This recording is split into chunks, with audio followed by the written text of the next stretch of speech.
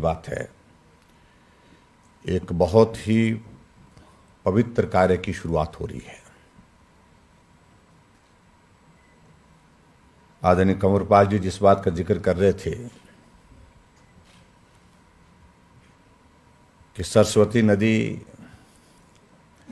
का ज़िक्र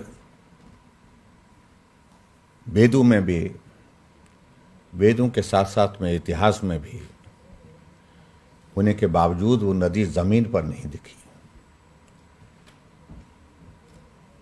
इसकी कई वजह रही होंगी लेकिन आज भी सरस्व, सरस्वती नदी जो है वो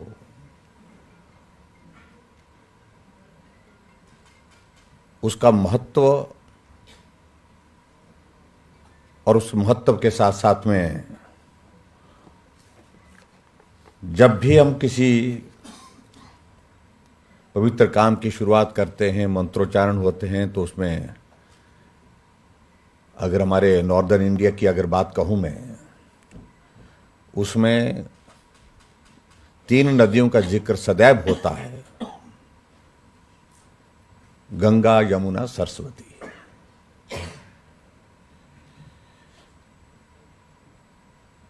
और इस बात को लेकर के आज ये ऐतिहासिक पल है जब जिस सरस्वती को हम ज़मीन पर नहीं देख पा रहे हैं, जिसकी वजहें यहाँ पर मुझसे पहले जो प्रेजेंटेशन के माध्यम से बहुत सारी बताई गई। एक पवित्र प्रयास है ये। आदरणीय मनोहर लाल जी की ओर से जो प्रस्ताव हमारे सामने रखा गया और हम उसमें शामिल होकर के मिल करके उस दिशा में करने की कोशिश कर रहे हैं इस प्रयास को, ताकि ये सरस्वती नदी ज़मीन पर दिखे और इसके अस्तित्व को, जहाँ हमारे आज से पहले ऋषि मुनियों ने स्वीकार किया, आज से पहले इतिहास के हिस्सों ने स्वीकार किया और आने वाली जनरेशन आने वाली पीढ़ी भी इसको स्वीकार करे, उस दृष्टि से बहुत महत्वपूर्ण कार्यक्रम आज का ही है।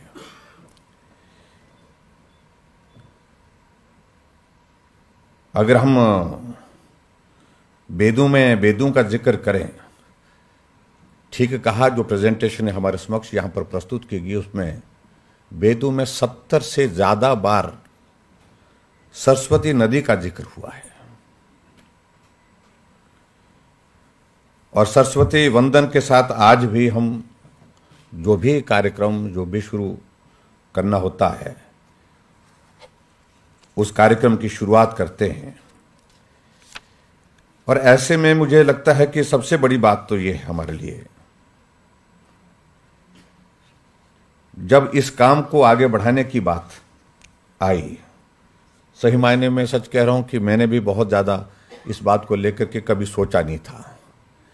नोलाल जी से कभी मिलना होता होता था।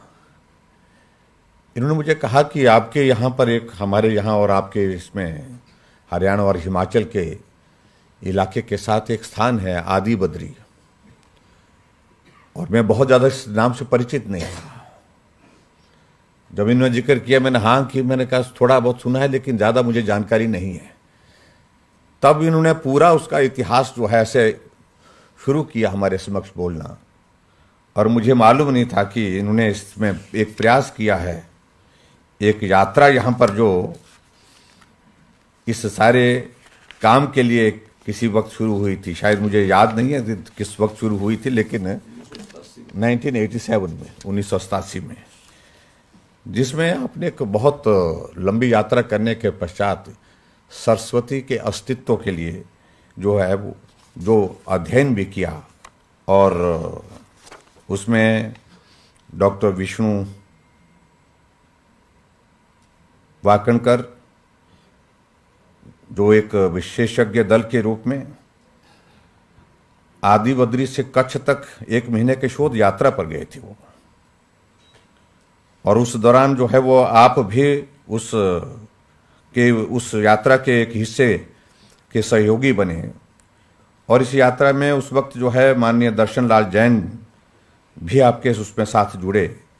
और सब लोगों ने, आप लोगों ने इस सारी चीज़ को लेकर के उस वक्त बहुत गंभीरता से चिंतन किया, मंथन किया कि कभी अगर आपके मन में शायद मुझे लगता कि ये भाव सदैव रहा होगा कि कभी अगर अवसर मिला तो इसको सार्थक करने की एक पहल हमको करनी चाहिए, एक प्रयास करना चाहिए। तो आज मैं समझता हूँ कि उस दिशा में ये एक पहल और एक प्रयास जो है, सफलतापूर्वक आगे बढ़ रही है। इसके लिए मैं आपको बहुत बहुत बधाई देता हूँ। आदरणीय प्रधानमंत्री नरेंद्र मोदी जी का सदैव इस बात के लिए प्रयत्न रहता है कि नदियों को जोड़ने की बात और नए कॉन्सेप्ट के साथ नई चीज़ों को लेकर के वो हमेशा सदैव बात करते हुए आप अपनी, अपने जो काम की शैली उनकी है, काम करने का तरीका, उसको आगे बढ़ाते रहते हैं। और उन्होंने तीन अप्रैल 2014 को कुरुक्षेत्र में एक कार्यक्रम में संबोधित करते हुए इस बात को कहा था। सरस्वती नदी का ज़िक्र और उसका महत्व, उस पर उन्होंने उस वक्त बात कही थी। और उन्होंने जो कहा था, उसका मेरे सामने में यहाँ पर एक कोट है। उन्होंने कहा था कि हरियाणा का किस, किसान सालों से कह रहा है कि सरस्वती नदी नाला बन गई है। देश की हरित क्रांति का नेतृत्व तो जिसने किया था, जहाँ कभी पानी की किल्लत नहीं होती थी, आज यहाँ का किसान पानी के लिए तरस रहा है। ये आदरणीय प्रधानमंत्री जी ने 2014 को आपके हरियाणा के ही यहाँ पर कुरुक्षेत्र में आकर के अपनी बात कही थी। और उसमें आगे बढ़कर के आदरणीय प्रधानमंत्री जी ने एक और ज़िक्र किया था 2018 18 में प्रधानमंत्री जी जब दिल्ली में भारतीय पुरातत्व सर्वेक्षण के नए भवन का जब उद्घाटन कर रहे थे, तब भी उन्होंने सरस्वती का ज़िक्र किया था।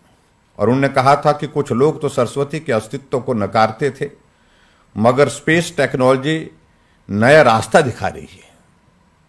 तो आधुनिक प्रधानमंत्री जी के दिमाग में भी इस बात को लेकर के ये सरस्वती का अस्तित्व को पूर्ण रूप से साकार करना, उस दिशा में प्रयत्न किए जाएँ, प्रयास किए जाएँ, ये भाव उनकी बातों से निश्चित रूप से झलकता है। हमें खुशी है कि आदरणीय मनोहर लाल खट्टर जी के प्रयासों से हम इस पुण्य के कार्य में जो सरस्वती नदी नदी को जो है पुनर्जीवित करने के लिए एक प्रयास हो रहा है, उसमें हिमाचल और हरियाणा दोनों मिलकर के उसमें आगे बढ़ करके काम कर रहे हैं, ये हमारे लिए प्रसन्नता का विषय है। मुझे इस बात को लेकर के भी प्रसन्नता है कि बहुत सारी योजना आप, अपने हरियाणा में बना ही रहे हैं। अभी आते आते मुझसे मज़ाक कर रहे थे कि आपका हिमाचल प्रदेश में जो है वो, जो पानी वहाँ तो रुकता नहीं है। तो हम हरियाणा वाले प्रयत्न कर रहे हैं कि आपका पानी हम कहीं रोकें और उसका उपयोग ठीक प्रकार से हो। और सही मायने में ये हकीकत भी है। पानी पहाड़ों पर बारिश पहाड़ों पर होती है, बर्फ़ पहाड़ों पर पड़ती है और उसके बाद नदी नालों का वहाँ से वहाँ से शुरुआत होती है और आखिरकार वो पानी बहते बहते आगे चला जाता है और हिमाचल के हिस्से में बहुत ज़्यादा नहीं रहता है, हरियाणा को भी मिलता है, पंजाब को भी मिलता है।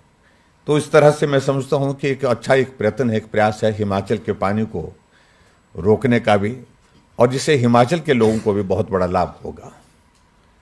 और मैं ये समझता हूँ, निश्चित रूप से जब ये परियोजना बन करके तैयार होगी आने वाले समय में तो इससे पर्यटन की दृष्टि से भी जो हमारा इलाका है, जो हिमाचल प्रदेश का उस डैम के साथ जो जिसमें थोड़ा एरिया जो हमारा सबमर्ज हो रहा है, जहाँ वो इसकी झील बनेगी डैम बनेगा।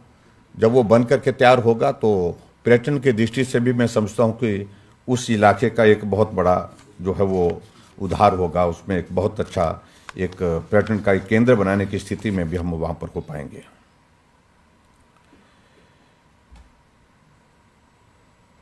और उस दृष्टि से मैं ये ज़रूर कहना चाहता हूँ कि जहाँ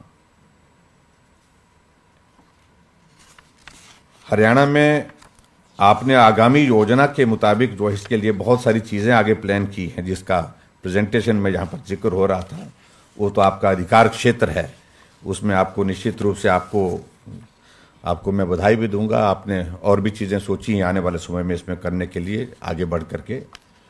लेकिन सबसे बड़ी बात है कि इसके जो मूल भाव में अगर हम जाएँ तो उसमें जो महत्वपूर्ण है कि सरस्वती जो सही मायने में जिसके, जिसका ज़िक्र यहाँ कंवरपाल जी ने किया, कि ये दिखनी चाहिए। और दिख करके इसका जो महत्व है, उस महत्व को हम साकार कर सकें। उस दिशा में हमको जो प्रयत्न करने हैं, उस, उसका ही मुझे लगता है कि बहुत ज़्यादा महत्व है।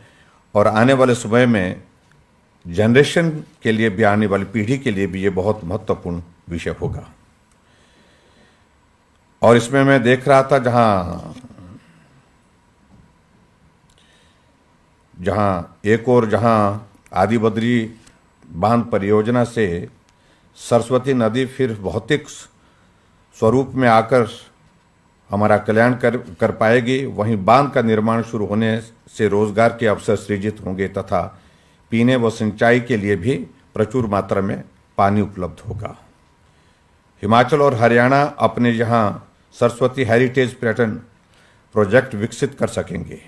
इससे पर्यटन में भी बढ़ोतरी होगी और जिससे क्षेत्र के क्षेत्र भी विकसित होगा और स्थानीय लोगों की आर्थिकी भी मज़बूत होगी।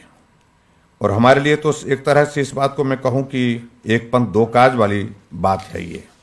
और जहाँ तक हिमाचल प्रदेश के इसमें मैं देख रहा हूँ कि बहुत ज़्यादा उसमें आ, जो है हमारी ज़मीन इसमें जो है वो समृद्ध नहीं हो पा हो रही है। थोड़ा ही इसमें इलाका जा रहा है इसमें।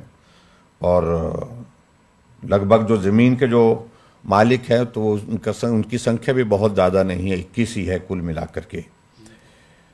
लेकिन उनके लिए जो मुआवजे की व्यवस्था उसके लिए सारी बातों को लेकर के हमने तय किया कि उनको, उनको